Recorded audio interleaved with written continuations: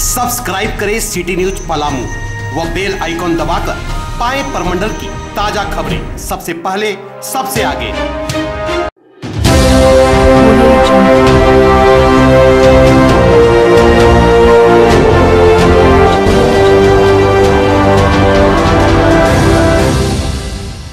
छतरपुर अनुमंडल के विभिन्न गाँवों में रहने वाले करीब दो दर्जन से अधिक मजदूरों ने सोशल मीडिया के ज़रिए वीडियो सिटी न्यूज़ को भेजकर सरकार व जिला प्रशासन से घर वापसी का गुहार लगाया है।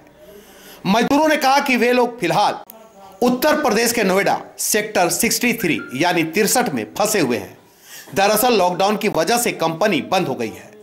लॉकडाउन लंबा समय हो जाने के कारण कंपनी ने सुविधा देना भी मजदूरों को बंद कर दिया है। वे लोग किसी तरह जीवन गुजर बसर करने को मजबूर है।